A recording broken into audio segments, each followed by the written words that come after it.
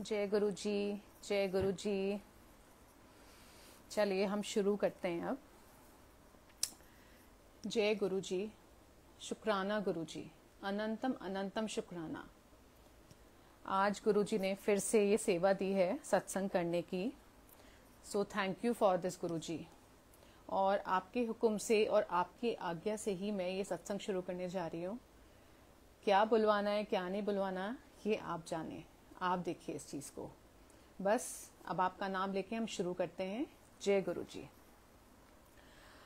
thank you Neelam aunty, जिन्होंने गुरु जी का जो ये हुक्म आया था, वो उन्होंने मेरे पास तक पहुँचाया। उन्होंने अपनी सेवा की और मेरे को फिर से एक बार सत्संग करने का मौका दिया। So thank you Neelam aunty thank you so much चलिए हम यहीं से शुरू करते हैं। नीलम आंटी से ही हम शुरू करते हैं। ऐसा है कि मेरे को नीलम आंटी का एक दिन मैसेज आया कि आप, बेटा, आपके लेना गुरु जी का हुक्म आया है और वो बहुत लोगों के लिए हुक्म दे रहे हैं। वो भाव डाल रहे हैं उनके मन में और उनको कुछ कुछ डेट्स भी वो लिखवा रहे हैं। तो आपका भी उन्होंने नंबर दिया है। आपकी भी एक डेट डिसाइड की है। तो आपको सत्संग करना है। तो मैंने नीलम आंटी को फिर क्लियर करने के लिए मैंने फ़ोन किया और उनसे पूछा कि क्या हुआ आंटी? तो आंटी ने मेरे को बताया कि गुरु जी नाम ले लेके डेट्स लिखवा रहे हैं कि इस डेट को इसको सत्संग करना है, इस डेट को इसको सत्संग करना है। तो ये सब मतलब मेरे को तो ऐसा लग रहा था गुरु जी ने ऐसी सेवा दी है। गुरु जी ने खुद चूज़ किया है इस सेवा के लिए और मेरे को जो डेट दी है गुरु जी ने, वो आज की दी है, जो सेवेंथ ऑफ़ अप्रैल है आज।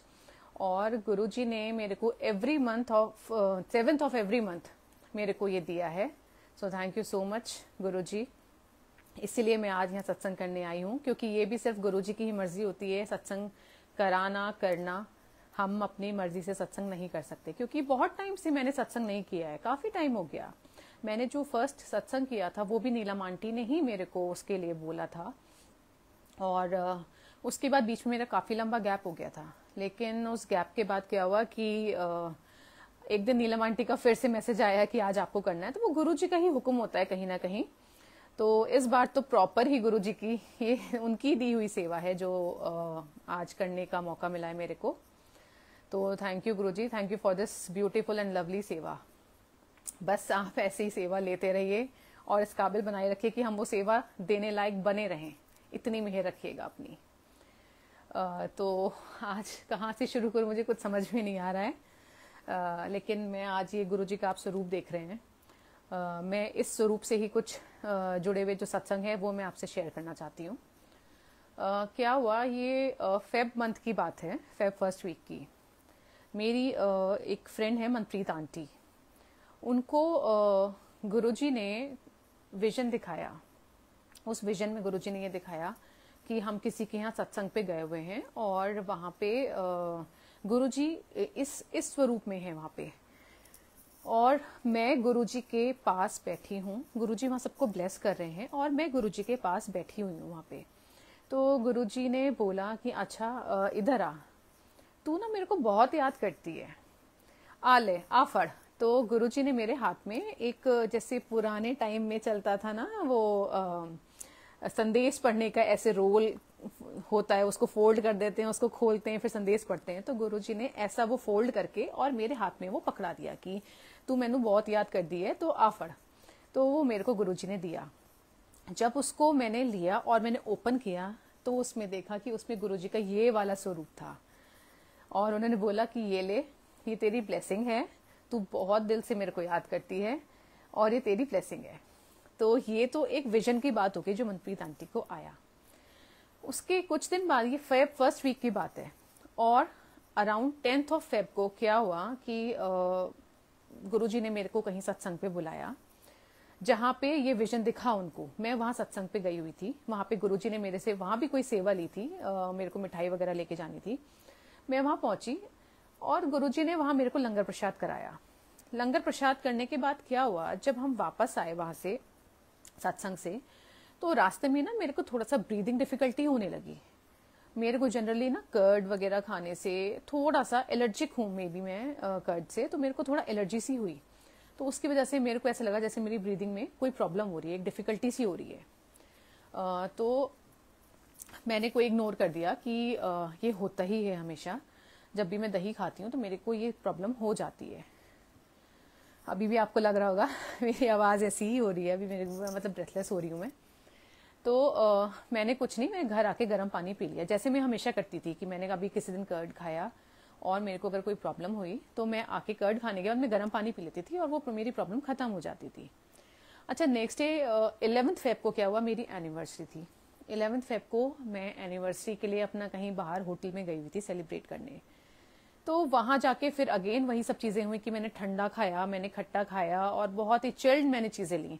तो मेरे को उस टाइम फिर से ये आ रहा था कि नहीं, मैं इतना ठंडा खा रही हूँ, ये ठीक नहीं है। मेरे को फिर से शायद मे बी कोई ब्रीदिंग डिफिकल्टी ना हो जाए ठंडा खाने से, खट्टा खाने से तो मेरे को नहीं खाना चाहिए। तो मैंने एक या दो सिप लेके छोड़ दिया। तो ये कंटिन्यूसली दो दिन से ये चल रहा था। टेंथ ऑफ़ फेब को जो मैं सत्संग में गई थी, वहाँ मैंने रायता खाया था, ठंडा बिल्कुल। इलेवेंथ फेब को मैंने ठंडा ठंडा जो है वो जलजीरा गोलगप्पे और ये सब चीज़ें, वो सब मैंने लिया। अब रात को 11 तारीख की रात को ना मेरे को इतनी ज़्यादा ब्रीथिंग डिफिकल्टी शुरू हो गई कि मेरी हालत ख़राब हो गई। मुझे सांस नहीं आ रही थी बिल्कुल भी। फिर भी मैनेज किया जैसे तैसे करके। सुबह उठे चलता रहा चलता रहा। एक दिन चला दो दिन चला कि ये सोच के कि हाँ कर्ड से एलर्जी हो जाती है ठंडी से एलर्जी हो जाती है चलता रहा। कुछ नहीं हुआ। लेकिन थर्ड डे आके क्या हुआ मेरी इतनी ज़्यादा मेरे को प्रॉब्लम हो रही थी कि आ, मेरे को लगा कि नहीं डॉक्टर के पास जाना चाहिए। तो हमारे एक होम्योपैथिक डॉक्टर हैं तो डॉक्टर संकेत। मैं उनके पास गई। उन्होंने मेरे को मेडिसिन दी मैंने ली। लेकिन वो मेडिसिन लेके भी बहुत जल्दी रिलीफ नहीं आ रहा था। तो एक दिन क्या हुआ अचानक इतना ज़्यादा मेरे को पैनिक अटैक आया कि मेरे को ब्रीदिंग मेरी बिल्कुल ऐसे रुक गई कि मेरे को मतलब बहुत खींच खींच के सांस लेनी पड़ रही थी बहुत ज़्यादा ज़ोर लगा लगा के। तो आ, मेरे को ऐसा अटैक हुआ कि मेरे को लग रहा था कि मैं फेंट ना हो जाऊँ। तभी आ, मैंने अपने घर में मेरे आ, पापा को बोला कि मेरे को इतनी प्रॉब्लम हो रही है मेरे को सांस नहीं आ रही है। तो उन्होंने किसी डॉक्टर से फ़ोन पे बात करी और बात करके उन्होंने बताई सारी कंडीशन मेरी। तो उन्होंने मेरे को बोला कि आप आस्था लन का इन्हेलर ले लो। तो इमरजेंसी में वो इन्हेलर मंगाया और वो इन्हेलर मैंने लिया। उसके बाद मेरा थोड़ा सा रिलीफ आया। लेकिन मैं फिर भी मैं फिजिशियन के पास गई मैंने चेकअप कराया। तो उन्होंने बताया कि आपको एलर्जिक ब्रोंकाइटिस हुआ है। जो जनरली कुछ किसी चीज़ की एलर्जी हो गई है मे बी वो आपका किसी भी फ़ूड से भी हो सकती है एलर्जी किसी डस्ट से पॉल्यूटेंट से, कुछ भी हो सकता है वो। तो वो मेरे को उन्होंने मेडिसिन दी और मेरे को इनहेलर पे डाल दिया उन्होंने। ये सिलसिला मेरा दो तीन दिन, चार दिन, पाँच दिन चलता रहा चलता रहा। मैं बहुत परेशान हो गई क्योंकि ये बार बार बार बार मेरे को इतना डिफिकल्टी आ रही थी ब्रीदिंग में कि बीच बीच में पैनिक अटैक्स आ रहे थे मेरे को। तो मैंने गुरुजी से बोला, मैंने अरदास की कि गुरुजी, ये क्या हो रहा है? आप कुछ करो ना। प्लीज़ आप कुछ करो, क्योंकि आप कुछ करोगे तो ये डेफिनेटली ठीक हो जाएगा। डॉक्टर्स की डॉक्टर्स और उनकी जो मेडिसिन हैं, वो भी तभी काम करेंगे जब आप उनको ब्लेस करोगे, जब आपकी मर्ज़ी होगी। तो आप प्लीज़ कुछ कीजिए। तो इतने में क्या हुआ कि ये बस मैं गुरुजी से बातें कर रही थी। नेक्स्ट डे मेरे को मेरी जो फ्रेंड है मनप्रीत आंटी, उनके साथ मेरा गुरुजी ने शुरू से ही कनेक्शन बनाया हुआ है। एक्चुअली मैं मनप्रीत आंटी के थ्रू ही कनेक्ट हुई हूँ गुरुजी से। तो गुरुजी ने उनको भी मैसेंजर बनाया हुआ है मेरे लिए। जो मैसेजेस आते हैं मेरे को, गुरुजी के। तो मनप्रीत आंटी का नेक्स्ट डे मेरे को फ़ोन आता है और वो बोलती हैं कि, आंटी, रात ना मेरे को गुरुजी ने एक विजन दिखाया। वो जनरली गुरुजी के साथ बैठ के मेडिटेट करती हैं। तो गुरुजी उनको विजन्स दिखाते हैं। तो गुरुजी ने उनको विजन दिखाया और उनके विजन्स ट्रू होते हैं। ये मैं हर बार मेरे सत्संग में शायद मैं ये बात हमेशा करती हूँ कि उनके जो विजन्स होते हैं वो ट्रू होते हैं क्योंकि वो गुरु जी के दिखाए हुए होते हैं और ये hundred and one percent true होता है, क्योंकि हम कई बार इस चीज़ को गुरु जी प्रूव करके भी दिखा चुके हैं। तो उनको विजन आया, उसमें गुरु जी ने उनको बोला कि ये जो स्वरूप है ना, ये घर आना है।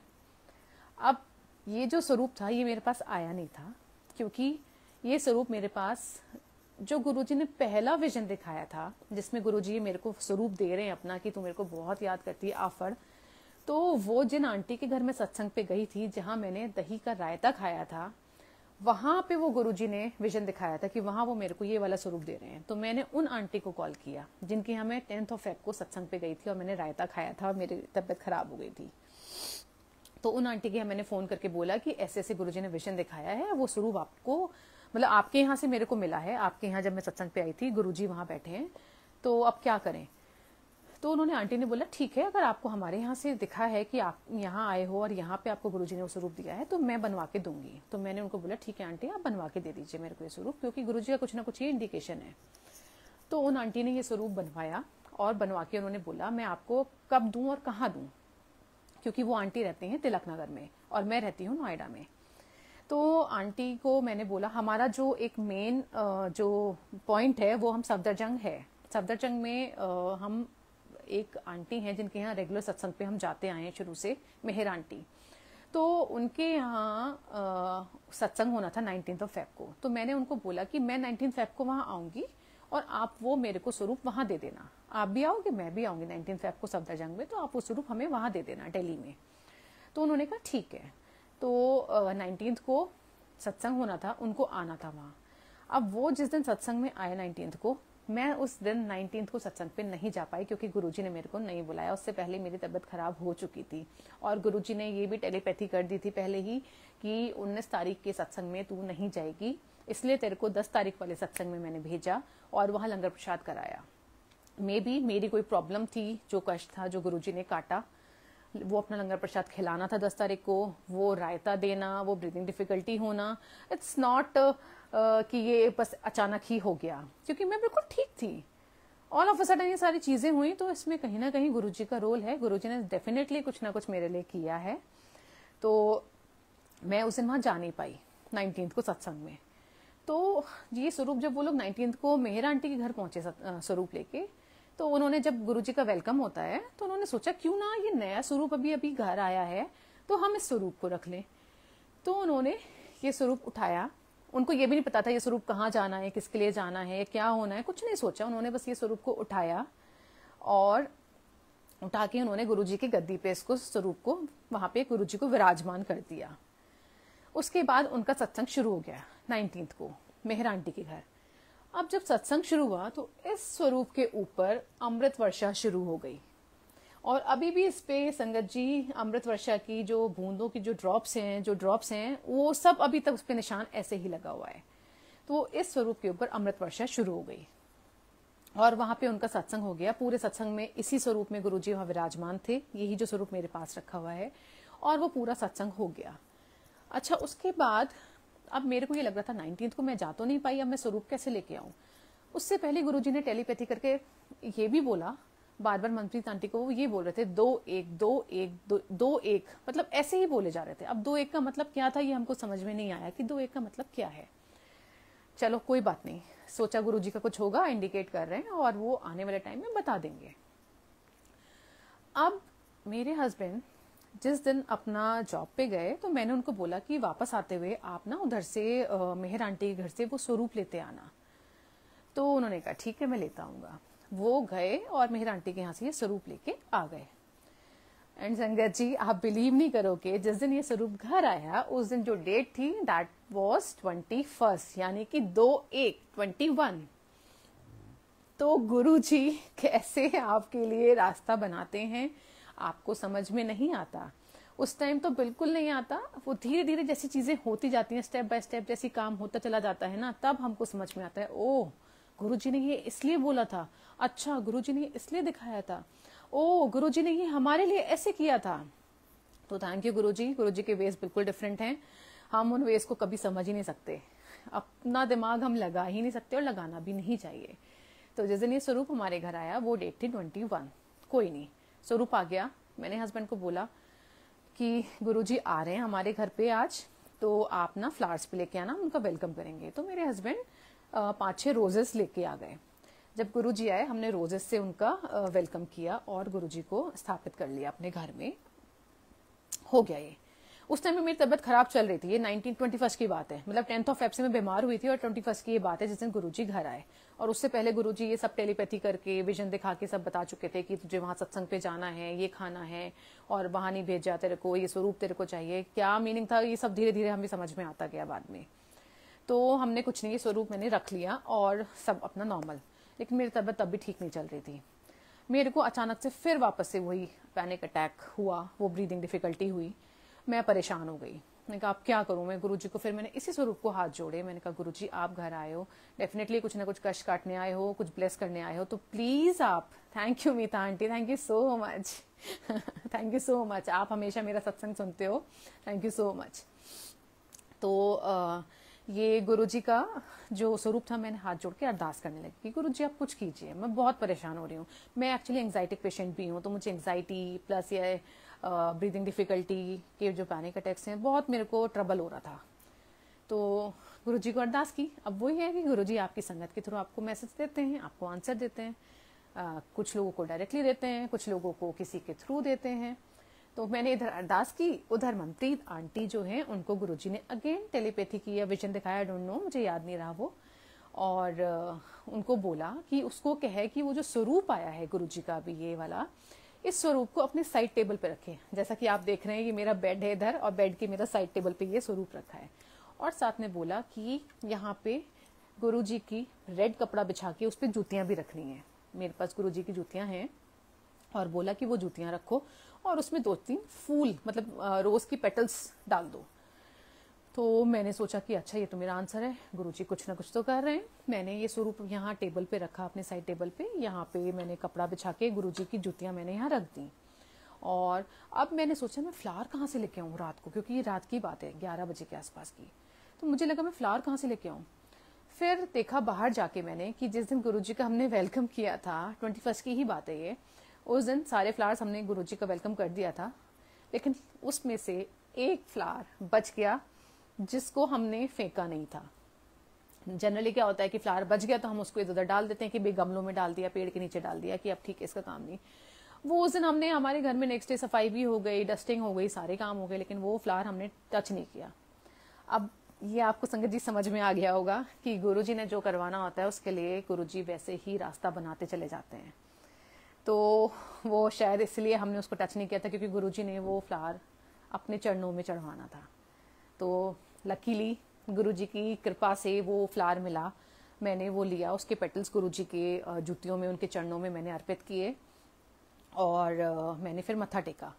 अच्छा उसके बाद गुरुजी ने फिर ये भी बताया कि ये स्वरूप लगाओ, यहाँ पे अपना चरण रखो, गुरुजी के जुतियाँ रखो पेटल्स डालो और साथ में गुरुजी ने ये भी बताया कि मेरे को कौन सा गुरबाणी, कौन सी शब्द मेरे को सुननी है? गुरुजी ने वो भी बताया। उसमें वो था, तू मेरा राखा सबनी थाई। ये वाला, इसमें भी ये दो तीन वर्जन हैं। इसमें एक ये ऐसा वर्जन था जिसकी मैंने वीडियो जब देखी तो उसमें देखा कि उसमें गुरु हैं कोई वो मतलब पेशेंट है उसको प्याले में कुछ पिला रहे हैं, जो बहुत पुराना वीडियो बना हुआ होगा ये। तो उस तरह का वो शब्द था। तो मुझे लगा, ये तो गुरु जी ने वाकई में साक्षात ये मेरे लिए सोल्यूशन भेजा है मेरे तबियत ठीक करने के लिए कि ये सब कराया, साथ में शब्द ये भेजा और ये बोला है कि इस शब्द को मुझे रोज सुनना है, इसी से मेरी हीलिंग होगी। और संगत जी, आप सुनिएगा उस शब्द को, आप देखिएगा, उसमें मेरे को अगर मिलता है तो मैं आपको अभी दिखाऊँगी। वो शब्द के जो वर्ड्स हैं, तू मेरा राखा सबनी थाई, वो तो है ही। लेकिन जो उसका वीडियो है, उसमें प्रॉपर वहाँ पेशेंट की ही केयर हो रही है। पेशेंट को ही ट्रीट किया जा रहा है उसमें कुछ पिला के।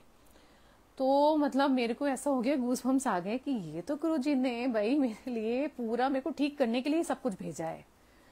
So thank you Guru ji thank you so much आप देखिए संगत जी, बस दिल से उनको पुकारने की देर होती है। आप अपना सच्चे मन से, अच्छे मन से दिल से उनको पुकारोगे ना, वो हर पल आपकी सुनते हैं और आपको आंसर भी देते हैं। डजेंट मैटर कि वो आपको दे रहे हैं, किस और को दे रहे हैं, पर वो आंसर मिलता है आपको ज़रूर है। आपको किसी के सत्संग से मिले, आपको खुद गुरुजी किसी फॉर्म में वो मैसेज दें, आपको इंडिकेट करें, आपकी मतलब किसी संगत के थ्रू वो मैसेज आपके पास पहुंचाएँ, आपको ड्रीम्स में दर्शन दे के वो आपको मैसेज दें। मतलब कोई भी फॉर्म हो सकती है, लेकिन you will get your answer definitely ये बिल्कुल इसमें कोई वो दो राय नहीं है कि गुरुजी नहीं सुनते, गुरुजी सुनते हैं। तो ये मेरा एक बहुत बड़ा, मेरा सत्संग, मेरी तबीयत अभी तक पूरी ठीक नहीं है। एक महीना हो गया है, दस फरवरी से मैं बीमार थी। लेकिन Guru ji is always with me Guru ji was with me Guru ji is with me and he will be तो वो हमेशा बिल्कुल साथ साथ चल रहे हैं, हर एक स्टेप पे वो बताते जा रहे हैं गाइड करते जा रहे हैं कि अब ये करना है, अब ये करना है, अब ये करना है। और इम्प्रूवमेंट हो रहा है बट गुरु जी मैसेज भी अब ये दे रहे हैं कि तेरा कोई कर्म कटवाना है, तेरा कोई कष्ट कटवाना है। चलो, ठीक है गुरु जी कटवाना है तो वो फिर उसके बाद आप ठीक कर ही दोगे। जब वो टाइम पीरियड मेरा पूरा हो जाएगा तो आप मेरे को ठीक कर ही दोगे। तो बहुत बहुत शुक्राना गुरु जी अनंतम शुक्राना। हर पल ब्लेसिंग देने का शुक्राना। गुरु जी मतलब किस फॉर्म में आपके कर्म कटवाते हैं? किस वे में? हमें लगता है, यार, इतनी बीमारी हो गई, या हम इतने बीमार हो गए, या ये प्रॉब्लम आ गई। वो लगता है थोड़ी देर के लिए, परेशानी होती है उस टाइम पे।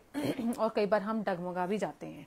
मेरे साथ होता है। मैं विश्वास बहुत करती हूँ गुरु जी में और गुरु जी को प्यार बहुत करती हूँ मानती बहुत हूँ। गुरु जी मैसेजेस भी बहुत देते हैं। गुरु जी आ, हर पल अपनी प्रेजेंस फील भी कराते हैं। लेकिन उसके बावजूद भी जब बींग अ ह्यूमन हम लोग थोड़ा सा घबरा जाते हैं कुछ चीज़ों को लेके। और स्पेशली जब बात कभी अपनों की आती है तो उस टाइम हम लोग ज़रूर घबराते हैं। तो मेरे को हो जाता है जब घर में किसी को कोई प्रॉब्लम हो जाए या कुछ तबीयत ख़राब हो जाए या कोई ऐसा कुछ भी होता है तो मेरे को घबराहट शुरू हो जाती है। कि यार ये क्या हो गया, ऐसे होगा, ठीक होगा, नहीं होगा, पता नहीं कुछ ऐसा तो नहीं हो जाएगा, कुछ वैसा तो नहीं हो जाएगा। तो नेगेटिव थॉट्स आने लगते हैं। लगता है गुरु जी आपके होते हुए भी ऐसा सब होगा। गुरु जी आपके होते हुए भी ऐसा होगा। बट हमको एक बात नहीं भूलनी चाहिए कि सॉरी संगत जी, मेरे को थोड़ा सा भी ब्रेथलेस हो रहा है तो मैं थोड़ा आराम से ही बात कर रही हूँ। तो हमको लेकिन ये नहीं भूलना चाहिए कि गुरु जी हर पल हमारे साथ हैं। वो एक पिता की तरह एक माता की तरह आपके साथ हैं। वो आप अपने बच्चों को कभी परेशान नहीं करेंगे। वो जो कराते हैं, हो सकता है उससे भी कोई बड़ी प्रॉब्लम हमारे पास आनी हो, कोई बहुत बड़ी हमारे साथ कोई दिक्कत होने वाली हो और वो गुरु जी उसको छोटी छोटी छोटी छोटी चीज़ों में डिवाइड करके उसको हमारे काट देते हैं, उसको ख़त्म कर देते हैं। तो हम उस पॉइंट ऑफ़ व्यू से तो नहीं सोचते हैं। लेकिन क्या है कि नेगेटिव जो थॉट्स होते हैं ना, वो बहुत जल्दी हावी होते हैं हमारे ऊपर। हम नेगेटिविटी में बहुत जल्दी जाते हैं। पॉजिटिविटी की तरफ़ हम लोगों को जाने में बहुत ज़्यादा एफर्ट्स डालने होते हैं। बहुत मेहनत करनी पड़ती है, अपने माइंड को ट्रेन करना पड़ता है पॉजिटिविटी के लिए। But for negativity we are always ready कि हाँ भाई, ठीक है नेगेटिव थॉट्स हैं। आ जाओ आ जाओ come you are most welcome तो thank you Meetha aunty thank you so much तो तो नेगेटिव थॉट्स लेकिन हमको अपने गुरु पे अगर विश्वास किया है तो पूर्ण विश्वास करना चाहिए। आधा विश्वास करके कोई फ़ायदा नहीं है। तो विश्वास कर रहे हैं तो पूरा करो। भाई, आप सिर्फ़ गुरु की ही बात क्यों, इनकी ही बात क्यों ले रहे हो? आपकी, भाई, इनसे हम कनेक्ट हुए हैं, ये कुछ करके दिखाते हैं मेराकल्स होते हैं। तो हम सिर्फ़ इनका ही वो लेके रहे हैं कि भाई, ये तो कुछ जादू कर दे। मजिशियन है, ये ऐसे चुटकी बजाएँ और कुछ जादू कर दें। क्यों? क्यों हम ऐसा सोचते हैं? भाई, अभी नहीं, पुराने आप टाइम से देखते चले आओ। अपने दादी नानी के टाइम से भी अगर आप देखते आओ तो भगवान को सब पूछते ठीक है, भगवान किसी भी फॉर्म में कोई कान्हा जी को पूछता है, कोई माता रानी का भक्त है, कोई शिव जी का भक्त है फॉर्म्स अलग अलग हैं, लेकिन पूज रहे हैं ना सब लोग, और कुछ ऐसे भी होते हैं जो बहुत दिल से भक्ति करते हैं, बहुत सच्चे होते हैं, बहुत पूछते हैं प्रॉब्लम्स तो उनके साथ भी आती हैं, और उनकी बात क्या करें? प्रॉब्लम तो भगवान के साथ भी आई है हमेशा। कौन से भगवान ऐसे हैं जिनको कभी किसी प्रॉब्लम का सामना नहीं करना पड़ा? आप किसी का भी आप देख लीजिए उठा के। तो ऐसा नहीं, अब लेकिन हम गुरुजी से कनेक्ट होते हैं तो हमारी एक्सपेक्टेशंस बढ़ जाती हैं। कहते हैं ना, जो कोई आपके लिए कुछ करता है और क्विक रिज़ल्ट देता है तो हम उससे एक्सपेक्टेशन ज़्यादा करने लगते हैं। तो वही गुरुजी के साथ होता है कि गुरुजी अच्छा ये कर देते हैं, गुरुजी ने आज ये कर दिया। फिर जिस दिन गुरुजी ने कुछ नहीं किया है कोई प्रॉब्लम आई तो हम कहते हैं, गुरुजी, आपने कुछ नहीं किया। क्यों भाई? गुरुजी को जब नहीं मान रहे थे, जब इनसे कनेक्ट नहीं थे हम, तब भी तो भगवान की पूजा तो कर ही रहे थे ना, भगवान को तो हम मान ही रहे थे। भगवान को मानने के साथ साथ भी तो प्रॉब्लम्स आ ही रही थी ना। तो फिर गुरु जी के साथ क्यों इतना मतलब हम डिफ्रेंशिएट क्यों कर रहे हैं? और भगवान और गुरु जी को लेकर हम क्यों डिफ्रेंशिएट करते हैं भाई? नहीं डिफ्रेंशिएट नहीं करना है। वो आपकी प्रॉब्लम्स आपको देते हैं तो उसमें आपका साथ भी देते हैं, आपको उस प्रॉब्लम से बाहर भी निकालते हैं। और साथ साथ आपके लिए, वो आपके लिए रास्ता भी बनाते हैं। आपका जो कष्ट है, जो कर्म है हमारे किए हुए, उनको भी खत्म करते हैं। तो अच्छा है कि एक बड़ी प्रॉब्लम ना देखे। छोटी छोटी चीज़ों में अगर उसको ठीक कर दें, अगर हमारे कर्म, गुरु जी सुधार दें तो क्या गलत बात है इसमें? मुझे पता है, मैं खुद भी डर जाती हूँ बहुत चीज़ों को लेके, घबरा भी जाती हूँ। फिर लगता है, गुरु जी आप नहीं कर रहे लेकिन फिर वापस आता है कि नहीं, गुरु जी पे विश्वास रखना है। बिल्कुल रखना है, वो कुछ गलत नहीं होने देंगे। तो ये विश्वास जो है, इसको हमको बना के रखना है। अगर उन पर विश्वास किया है तो पूरे दिल से विश्वास करें और डरना क्यों है? देखिए, जो जिसके साथ होना है, वो होना है। और सब आपके कर्मों के हिसाब से होना है। ये आपके कर्माज हैं, वो आपके प्रीवियस बर्थ के हैं, या जो भी हैं तो वो हमें उसके हिसाब से ही इस बर्थ में मिलता है। इसीलिए कहते हैं कि इस जन्म में आप अच्छे कर्म कर्म करो अच्छा अच्छा सब कुछ करो, भगवान का नाम लो, पाठ करो, लोगों की हेल्प करो, अपने घर वालों की हेल्प करो, अपने घर परिवार को देखो, सबके साथ अच्छे से रहो। तो आपके कर्म अच्छे होंगे, ठीक है, आपका अकाउंट अच्छा होगा। जब आपका अकाउंट अच्छा होगा, अच्छे कर्मों से भरा हुआ होगा तो ऑब्वियसली आपको इंटरेस्ट भी ज़्यादा ही मिलेगा ना। आपका इंटरेस्ट भी अच्छा ही होगा, कोई प्रॉब्लम नहीं आएगी। तो वो जो नेक्स्ट हमारा बर्थ होगा, जो भी होगा, उसमें आपके लिए वो बहुत ही हेल्पफुल होगा। कुछ लोग बोलते हैं कि ये तो इतना बुरा करता है लेकिन फिर भी इसके साथ क्यों इतना अच्छा आ रहा है? उसके प्रीवियस कर्माज है भाई वो। ठीक है अब हम अब अच्छा करेंगे तो हम आ, हमें आगे आने वाले बर्थ में हो सकता है हमारे लिए सब अच्छा हो। हमें नहीं पता क्या होगा बट सोच के तो हम यही चलते हैं ना। सीखा तो हमने यही है ना। हमें पता तो यही सब चीज़ें हैं ना। तो अपने कर्म अच्छे रखिए विश्वास रखो और कर्मों के हिसाब से हमारे को फल मिलता है। और जो हमारे साथ चीज़ें चलती हैं, जो भी प्रॉब्लम हमारे साथ हो रही है, वो सब हमारे कर्मों के हिसाब से ही है। तो इतना परेशान होने की ज़रूरत नहीं है। जिसकी किस्मत में जो लिखा है, जो डेस्टाइन है, जो गुरु ने लिखा है ना, वो होना ही है। उसको हम किसी भी कीमत पे नहीं रोक सकते हैं। हाँ लेकिन एक चीज़ हम कर सकते हैं कि हम गुरु से जुड़ के, हम अच्छे कर्म करके, उनकी भक्ति करके, उनके करीब जाके, उनसे कनेक्ट होके हम उस चीज़ को, हो सकता है खुश होके गुरु उस चीज़ को चेंज कर दे या डिले कर दे या कुछ कर दे। तो ये सब चीज़ें जो हैं, उनसे ज़रूर ये सब आपका चेंज हो सकता है, लेकिन जो हमारे कर्मास हैं, उनके अकॉर्डिंगली हमको रिज़ल्ट मिलेगा। तो प्लीज़ अपने कर्मास अच्छे करने की कोशिश कीजिए और फुल फेथ रखिए अपने गुरु में। तो ये एक छोटा सा सत्संग था मेरा। अब मेरे को जो याद आ रहा है वो ये कि गुरु जी ने अगेन मंत्री तांटी को कुछ मैसेज किया और बोला कि आकांक्षा को कहे कि सत्संग कराना है। अच्छा मेरे को गुरुजी ड्रीम्स में जनरली बताते हैं और ड्रीम्स में मेरे को वो मैसेजेस देते हैं और दर्शन देते हैं। तो गुरुजी ने मेरे को ड्रीम में दिखाया कि गुरुजी हमारे घर आए हैं मेन गेट से लिफ्ट से आए हैं। और मेन गेट से उन्होंने एंट्री की है। गुरुजी इसी स्वरूप में है। पगड़ी लगाए हुए, पूरा ऐसा शेरवानी से पहने हुए। और मैं और मेरा बेटा, हम उनका वेलकम कर रहे हैं। गुरुजी घर आए, आके गद्दी पे बैठे और मैं उनके पास, उन्होंने मेरे को बुलाया और अपने पास बिठा लिया। ये ड्रीम की बात चल रही है मेरे। तो गुरुजी ने वहाँ बिठाया और मैंने उनके लिए शायद लंगर प्रसाद रेडी कर रखा था। बस इतना मेरे को दिखा। इस ड्रीम को देखने के बाद ही दो तीन दिन बाद मंत्री तांटी का मेरे पास फ़ोन आता है, कहती हैं कि मेरे को गुरुजी ने विजन दिखाया है और विजन में मैंने देखा है कि गुरुजी पगड़ी वाले स्वरूप में और आपके घर आए हैं। बहुत लंबे, बहुत ही ज़्यादा स्ट्रांग और इतने टॉल गुरुजी हैं, वो आपके घर आए हैं, आके गद्दी पे बैठे हैं। सेम देखिए आप, जो मेरे को ड्रीम में गुरुजी ने दिखाया और जो मनप्रीत आंटी को विजन में दिखाया तो बोथ आर कनेक्टेड तो गुरुजी आके गद्दी पे बैठे और उन्होंने मेरे को इशारे से बुलाया कि एथे आ। और उन्होंने मुझे अपने साइड में बिठा लिया। और मेरे को बोलते हैं कि बुला, सत्संग करा। मार्च में सत्संग होना है। मार्च में एक सत्संग कराना है। पहले मार्च में सत्संग कराई, फिर अपने मुंडे दे जन्मदिन ते कराई। तो मेरे बेटे का बर्थडे भी सेवनटीन ऑफ़ अप्रैल को है। हम्म। तो मैंने सोचा कि अच्छा ये बोला गुरुजी ने कि सत्संग कराना है, एक मार्च में कराना है, एक अपने बेटे के बर्थडे पे कराना है। और बोला अपने पेके वालों ने। अब मेरे को मंत्री तांडी ने बोला कि गुरुजी ने आपको ये हुक्म दिया है कि आप अपने पेके वाले, यानी अपने मायके वालों को इस बार आपको सत्संग पे बुलाना है। और गुरुजी ने बोला है कि मेरे को उन सबको ब्लेस करना है।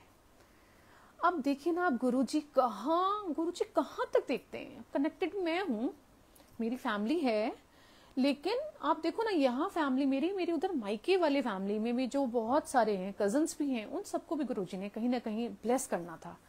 आप देखिए कहाँ किस किस को ब्लेस करते हैं। तो अब हमने सत्संग रखा मार्च में। ट्वेंटी सिक्स ऑफ़ मार्च का सत्संग किया। उसमें मैंने सारे मेरे मायके वालों को बुलाया। उनको बोला कि गुरुजी का हुक्म आया है कि मायके वालों को बुलाना है तो आप सब आइएगा। क्योंकि मुझे नहीं पता, क्योंकि गुरुजी का हुक्म था, मैंने आपको पास ऑन कर दिया। आगे गुरुजी की मर्ज़ी कि वो किस किस को बुलाते हैं, किसको ब्लेसिंग चाहिए, पता कुछ नहीं है किसी का भी। क्योंकि गुरुजी की जो ब्लेसिंग होती है, वो अभी के लिए नहीं। कई लोग सोचते हैं कि हमें इंस्टेंट रिज़ल्ट कुछ नहीं दिख रहा है। लेकिन गुरु जी की जो ब्लेसिंग होती है, वो हो सकता है आने वाले दस साल के लिए हो, बीस साल के लिए हो, आने वाले पंद्रह सालों में हो, कुछ नहीं पता हमको, कब वो काम आएगी। तो मैंने बोला और सब लोग आए, मायके वाले आ गए। तो उसमें क्या हुआ, मेरे जैसे मदर फादर और मेरी चाची और उनकी जो चाची की जो बहुएँ हैं, वो सब आई हुई थी यहाँ पे। तो उसमें क्या हुआ, उन लोगों के उस दिन नवरात्रे चल रहे थे, कुछ लोगों के फास्ट भी थे। तो ये एक सत्संग है, मैं आपको बता रही हूँ, और ये आज का मतलब आज ये सारी चीज़ें चल रही हैं, मैं आपको पूरा डिटेल में बताती हूँ। तो सत्संग में जैसे मेरे मायके वाले आए तो उसमें मेरी चाची आई, और मेरी चाची की दो बहुएँ आई। तो उनकी जो बहू थी, उसमें एक का फास्ट था एक का नहीं था। तो जिसका फास्ट था उसने यहाँ कुछ खाया नहीं, हमने व्रत का भी खाना मतलब लंगर प्रसाद रखा था, लेकिन उसने खाया नहीं। तो उसने क्या हुआ, उसमें एक पाइन रायता भी था। तो वो पाइनएप्पल रायता उसने अपने पास thank you thank you aunty बस गुरुजी ध्यान रखेंगे। आ, और वो रख रहे हैं ध्यान बट वो है कि थोड़ा एलर्जिक ब्रोंकाइटिस से थोड़ा टाइम लेगा और मेरा कर्म जब तक कटेगा वो चलता रहेगा। बट आपने इतना बोल दिया उसके लिए थैंक यू तो उन्होंने क्या किया वो जो आ, मेरी चाची की जो बहू थी जिनका फास्ट था उन्होंने वो पाइन रायता अपना पैक करा लिया। बोला कि मैं जब घर जाऊँगी तो मैं वहाँ जाके खा लूँगी आप मेरा दे दीजिए। तो कुछ नहीं हो गया सत्संग खत्म हुआ। उस दिन क्या हुआ मैंने आ, मेरे पास कुछ गुरु जी के लॉकेट स्वरूप रखे हुए थे। रखे हुए क्या थे? वो मेहर आंटी के यहाँ से आए थे। मेहर आंटी ने वो लॉकेट स्वरूप मेरे पास पहुँचाए उस दिन सत्संग वाले दिन।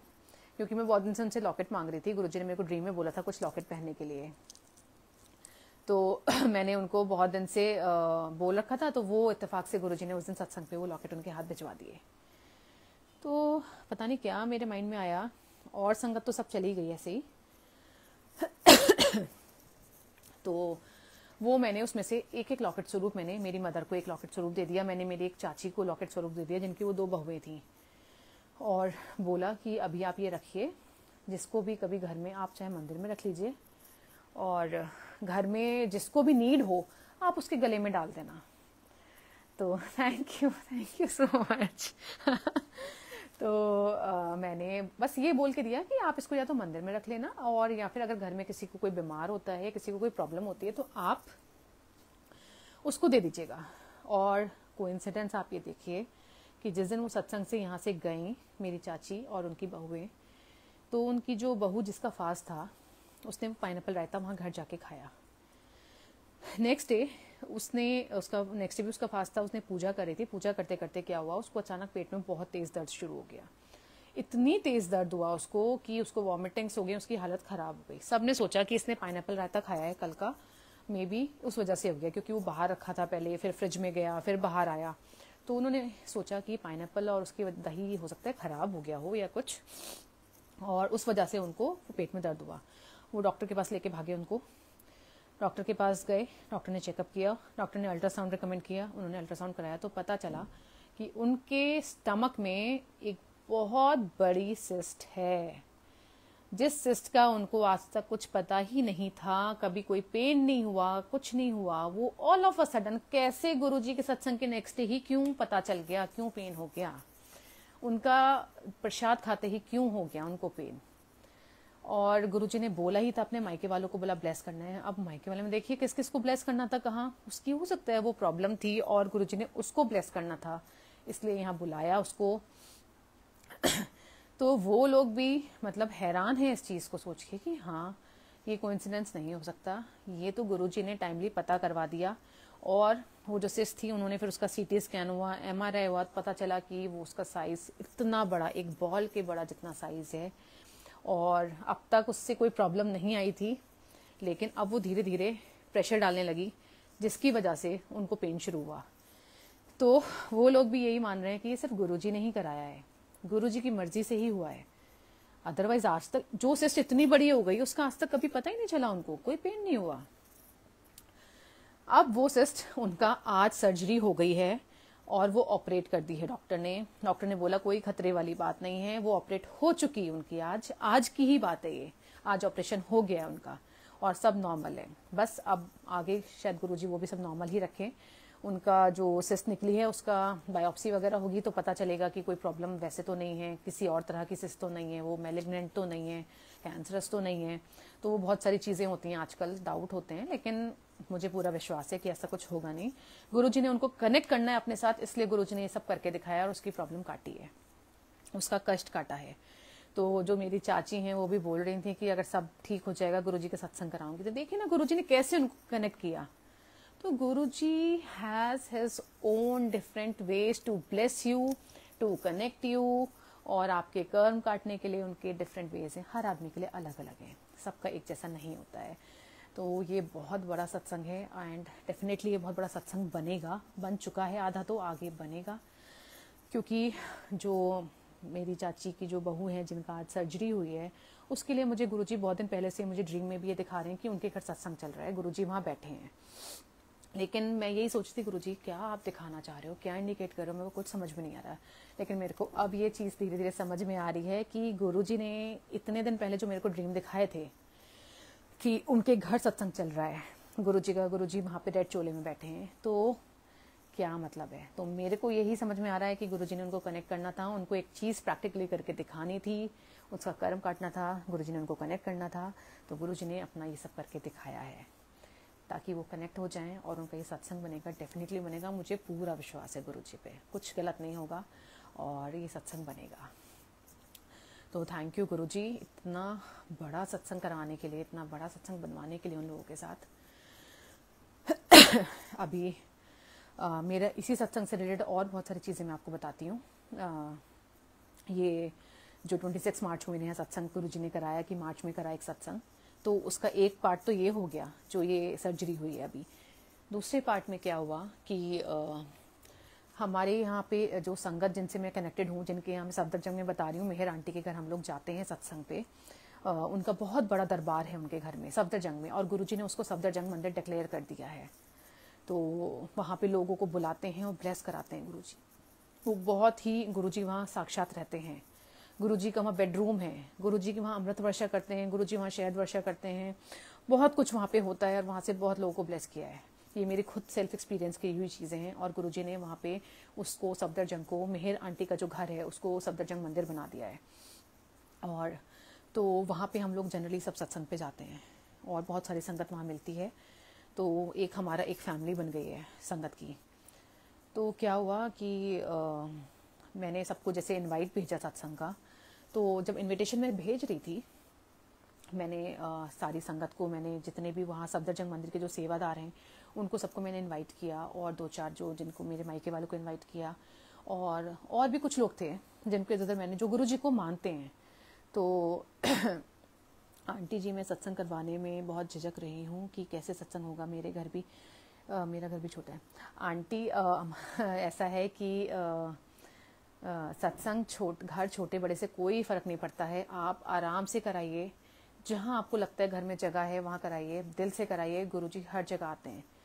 छोटा घर, बड़े घर से कोई फ़र्क नहीं पड़ता। इवन आपको बहुत ज़्यादा डेकोरेशन कराने की ज़रूरत नहीं है, आपको कोई बहुत सुंदर गद्दी लगाने की ज़रूरत भी नहीं है। बस अच्छे भाव से, सच्चे मन से आप एक चेयर रख के, उस पर भी अगर गुरु जी का स्वरूप रख के भी आप सत्संग करोगे तो भी कोई प्रॉब्लम नहीं है। तो आप बेझिझक होके कराइए, और जिसको गुरुजी ने बुलाना होगा, वो संगत आएगी। गुरुजी खुद अरेंजमेंट कराते हैं। बैठने का गुरुजी खुद अरेंजमेंट कराते हैं। क्योंकि मैं आपको बताती हूँ, मेरे घर जो ट्वेंटी सिक्स मार्च को गुरुजी ने सत्संग कराया था, इसमें भी गुरुजी ने पहले लगा था कि बहुत लिमिटेड संगत आने वाली है, क्योंकि बहुत लोगों ने बोल दिया, हम नहीं आ सकते, हम नहीं आ सकते, लेकिन यू वोंट बिलीव आंटी, उस दिन इतनी संगत आई। अब तक हमारे घर गुरुजी तीन बार सत्संग करा चुके हैं। ये फोर्थ टाइम था मार्च में। तो अब तक इतनी संगत नहीं आई थी। लेकिन ये जो सत्संग था, इसमें गुरुजी ने पता नहीं कहाँ कहाँ से किस किस संगत को बुलाया। इतनी संगत हो गई कि हमारे घर में हमें खुद जगह नहीं समझ में आ रही थी कि क्या करें बट जैसे तैसे करके सब एडजस्ट हो गए, सब कुछ हो गया। तो आप बिल्कुल मत घबराइए, आप बस गुरु जी से बोलिए कि गुरु जी आप मैनेज कीजिए, आप देखिए, वो सब करेंगे। ठीक है? हाँ तो मैं ये बता रही थी तो सबको मैंने इनवाइट भेजा। तो मनप्रीत आंटी को गुरु गुरु जी टेलीपैथी करते हैं और टेलीपैथी करके उसको बोलते हैं मनप्रीत आंटी को कि आकांक्षा को बोल हूँ बस करे। कि कितना इनवाइट कितने लोगों को इनवाइट करेगी वो? हूँ संगत मैं लेके आवांगा। उन्होंने ये बात बोली। तो मैंने कहा, ठीक है, मैं आप किसी को इनवाइट नहीं करूँगी गुरु जी और मेरे से अगर कोई गलती होगी तो उसके लिए आई एम वेरी सॉरी बाकी अब आप देख लेना। उस दिन पता नहीं किस किस संगत को गुरु जी ने चूज़ करके बुलाया। और उस दिन बहुत सारी संगत ऐसी थी जो गुरु जी की मतलब नॉन बिलीवर थी। और उस दिन उनके फास्ट थे। उन्होंने लंगर प्रसाद और सब चीज़ें खाने से मना कर दिया था। लेकिन उस दिन सत्संग वाले दिन, जब सत्संग शेयरिंग हुई तो मेहर आंटी और उनके हस्बैंड ने जो सत्संग शेयर किए, उसको thank you aunty thank you so much Mita aunty. तो वो सत्संग सुन के, वो जो संगत थी, जो नॉन बिलीवर संगत थी, उनमें इतना चेंज आया। उन्होंने मेरे से बोला कि आप प्लीज़ लंगर प्रसाद हमको दे दो, हम अपने घर ले जाएँगे। हम नहीं खाएँगे लेकिन हमारे फैमिली वाले बच्चे खा लेंगे उनको इतना कनेक्शन हो गया उन लोगों ने मेरे से स्वरूप मांग लिए और वो लोग कनेक्ट हो गए। तो देखिए ना गुरु ने कैसे कनेक्ट किया उनको। अच्छा तो जो इनवाइट मैंने भेजे तो उसमें हमें बहुत लोगों से ये पता चला कि वो नहीं आ रहे हैं क्योंकि सबके रीजंस होते हैं। किसी के बच्चे के एग्ज़ाम थे किसी का कुछ था किसी का कुछ था।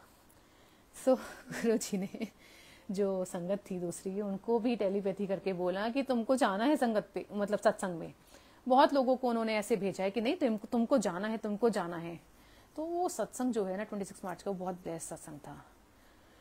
क्योंकि गुरुजी के सारे सत्संग ही ब्लेस्ड होते हैं। गुरुजी वहाँ साक्षात विराजमान होते हैं, लेकिन उस दिन तो गुरुजी ने इतना सब कुछ करके दिखा दिया। जो नहीं आने वाले थे, गुरुजी ने भी उनको हुक्म दिया कि नहीं, तुमको जाना है। वो ऐसे फिर सब लोग आ गए, क्योंकि उन लोगों ने यहाँ पे आके अपने अपने सत्संग शेयर किए कि हम तो मना कर रहे थे आने के लिए, और गुरु ने हमको बोला कि नहीं, कैसे नहीं जाओगे तुम? क्योंकि यहाँ कुछ लोगों को टेलीपैथीज होती हैं। तो गुरु जी ने उनको बुलाया और वो यहाँ पहुँचे। तो देखिए, सत्संग कराना, सत्संग में जाना, संगत का आना, सब गुरु जी डिसाइड करते हैं। वी आर नथिंग हम कुछ नहीं है। वो सब गुरु जी डिसाइड करते हैं कि किसको संगत को आना है, किस जगह जाना है। और ना, ये भी डिसाइडेड होता है कि गुरु जी को किस संगत को कहाँ बुला के, किसके सत्संग पे बुला के ब्लेस करना है। अब मैं ये सोचूं कि नहीं, मैं तो वहीं जाऊँगी वहाँ पे। वहीं मेरा तो सत्संग छूट गया। नहीं, वो छूटा नहीं। वो गुरु जी की मर्ज़ी नहीं थी हमारा। वहाँ जाना नहीं था।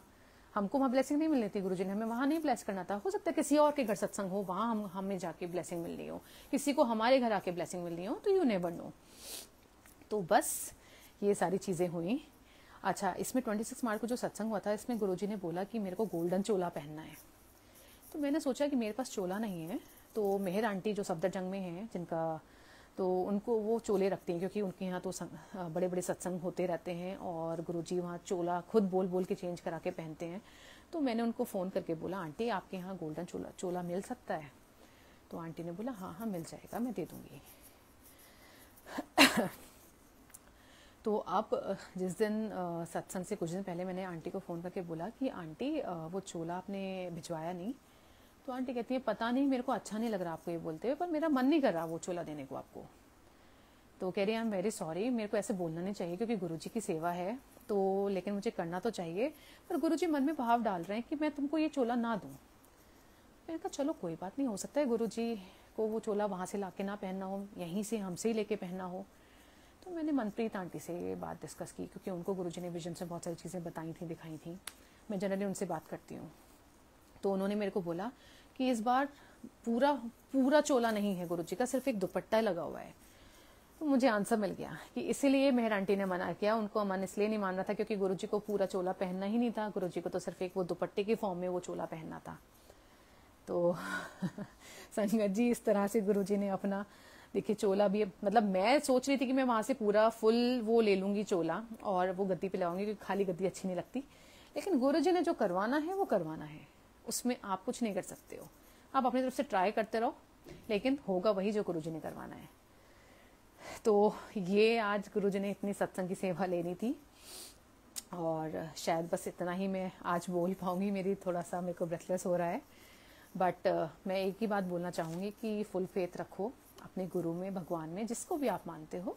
दिल से करो जो करना है और गुरु जी से बातें करो आप।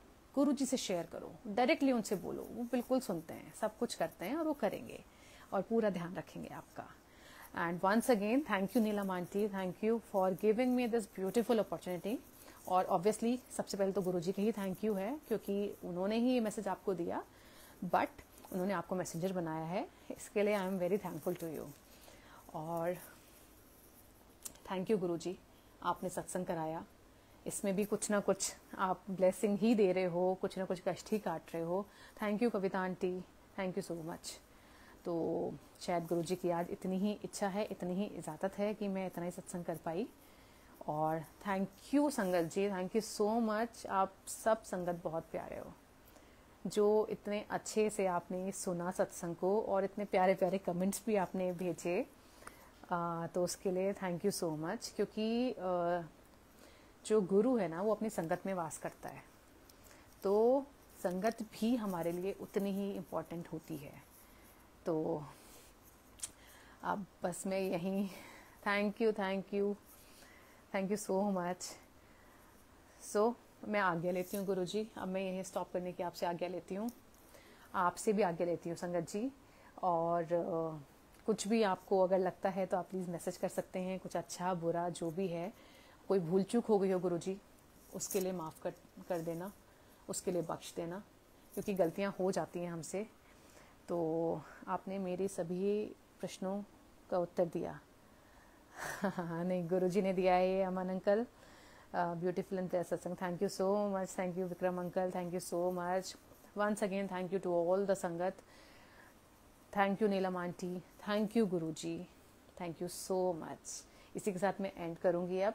और नेक्स्ट मंथ गुरु जी की अगर कृपा रही उन्होंने बोला every month seventh of every month सत्संग करने के लिए तो डेफिनेटली आऊँगी। और हो सकता है तब तक मेरी तबीयत भी पूरी ठीक हो जाए। तो आज थोड़ा सा क्योंकि ब्रेथलेस हो रही थी मैं। आ, मेरा आकांक्षा आकांक्षा मेरा नाम है। तो ठीक है जय गुरु जी जय गुरु जी शुक्राना Guru ji thank you thank you so much thank you Neelam aunty. जय गुरु जी